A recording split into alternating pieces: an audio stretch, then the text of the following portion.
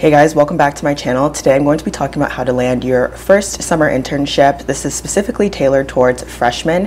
And before we start, I just want to give a huge shout out to the sponsor of this video, AI Camp. So I'm going to talk about AI Camp a little bit later, but just as a brief overview, I got my first internship after my freshman year of college in 2017. I entered with Bank of America and the role that I have was a mix between a dev and a project manager. So first things first, is your resume. So I had a high school resume, but it was extremely basic. I think I had like, you know, my high school GPA on there and some other things listed on there. But for your freshman year resume, these companies know that you really don't have much experience. So I start at the top by just putting my high school GPA and I put like, I think I had like a scholarship, just the regular Georgia Tech scholarship, uh, just, you know, make it seem like I'm academically gifted or whatever. And since I was applying in fall of 2016 and that was my first year of college, I didn't have a college GPA. So these companies really didn't know what to expect from me in terms of my college GPA, which is why I listed my high school GPA. So if you're wondering whether you should list your high school GPA or not, if you have no GPA from college, so you're applying in the fall, then be sure to list your high school GPA just so they can somewhat gauge your skill level. But if you are a second semester freshman, list your college GPA. The next thing that you can put in your resume is your coding languages that you know. Of course, if you are a first semester freshman, you know, you're probably in one of your intro CS classes and you are learning a language. So I actually knew Java from high school. So I put I knew Java and then I was learning Python during the time. So I put that I knew Python. I wouldn't really recommend putting those soft skills on your resume like good speaker. They really don't care, honestly, and it just kind of takes up space. But if you do have any technical skills, be sure to list them there. The next thing that I didn't do to my resume my freshman year was uh, list the classes that I was taking. So this is an excellent idea really for anyone who's in college, um, especially if you've taken data structures and algorithms. The next one is experience. So obviously you are a college freshman and you really have no work experience but maybe you actually do. So for me, I was a math tutor in high school and I listed that there because it showed that I actually had a job. And you know, these companies aren't expecting you to have the most amazing jobs as a college freshman. They know that you are just trying to jump into this field and trying to uh, gain experience. But if you had had any kind of job, even if you were like an ice cream shop person like scooped ice cream or just anything that you know makes it seem like you're actually like a consistent person you're consistently showing up to work then i would list that there. And then the last thing that i would say that is probably the most important part of your resume as a uh, college freshman is the project section. So this is where companies are going to be looking at to see if you're actually interested in um, you know whatever role you're applying for. So if you're applying for a dev role then you want to have project listed of you know where maybe you built a calculator anything as basic as that. So the way that i listed my projects and i think honestly what really helped me get my freshman internship is i did a it was an appathon but it's just basically a mini version of a hackathon. Through that experience i was actually able to talk through the experience of creating an application and all of the ups and downs that come with it. The most important thing just try to list a project on there. Try to do a project throughout the semester if you know you want to get an internship. Okay, so the next step after you have your resume all built and beefed up is to recruit. My freshman year, I was actually required to go to Georgia Tech's computer science uh, or College of Computing career fair, and they like required us to talk to some companies. But I was so dead set on getting an internship, but I actually took it seriously. Like most people, just kind of, you know, if you're a freshman, just walk around for all the free stuff. But I was like determined to get an internship. Um, so at a career fair, I really would just walk up to companies that I was interested in or I thought they may have had a freshman internship, tell them I'm a freshman, give them my elevator pitch. And at the time, I don't even think I had done the hackathon or appathon or anything like that. And I would just talk to them for the experience of getting used to talking to recruiters. I'm honestly not sure if any sort of interview came out of that. I don't think anything actually came out of that just because a lot of the companies there are recruiting for sophomores and juniors. Um, but it's still a good experience for you to find out what these companies are looking for and for you to also experience your college career fair. So if your college doesn't have a career fair, then I'd say the next step is to set up a LinkedIn. Basically, all I did was just kind of like list what I had on my resume on my LinkedIn, but in a more succinct way. Don't count out LinkedIn if you feel like you really have no experience. It's really something that is an excellent tool to use to get you a job really at any point in your life. So obviously I just said, you know, I had a LinkedIn, I went to the career fair, but you know, how did I actually get my freshman year internship and get a couple of interviews? I said this earlier, but I was like really obsessive about getting a job. Like I was like do or die. If I do not get a job 2017, I'm a failure. I don't have that same drive now because I don't care, but at the time I really, really cared.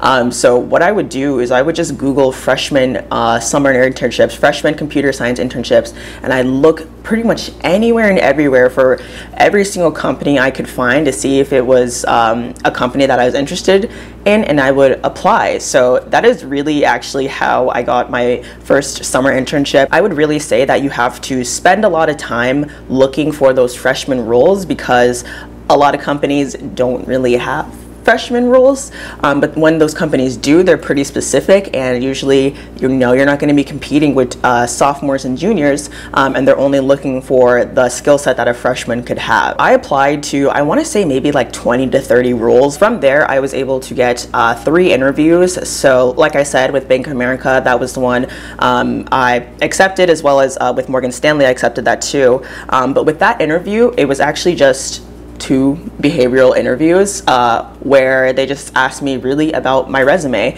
So this was when I realized like they selected my uh, application because I had done the hackathon because they asked me a lot of questions about my experience doing that project, um, you know, the technical side as well as just working with other people. And they were really able to see like who, who has coded outside of school um, as well as worked when I, I would talk about experiences as a math tutor as well. The interviews should not be too difficult. If you are applying for like, you know, some of the big tech companies, Google, Facebook, etc., um, you most likely will have a coding interview. And I will say that they they will probably look for on your resume to see that you've taken data structures and algorithms. For me, my EA interview was actually a technical interview. It was some question in Python, and then we did it on a Google Doc, and I completely choked. Like, honestly just the, the, story for the rest of my life on how much I choke on interviews. And then lastly, in terms of the Morgan Stanley one, I believe I only had one phone interview for that one because it was an exploratory program, but they called it an internship. Um, it was just more of a short program, so they didn't really need to gauge uh, how much, you know, you would actually, how much knowledge you would actually need to know. If you are applying for a big tech company, be prepared to actually code. Do LeetCodeEasies and mediums just so that at least you're familiar uh, with how to do a technical interview. For like Bank of America, other sort of banking internships, you most likely will just have a behavioral interview. Lastly, I want to talk about, you know, you've applied to a ton of companies, but you haven't heard back. Summer is approaching and you're kind of like, what the heck can I do now? You know, I don't want to do nothing during the summer.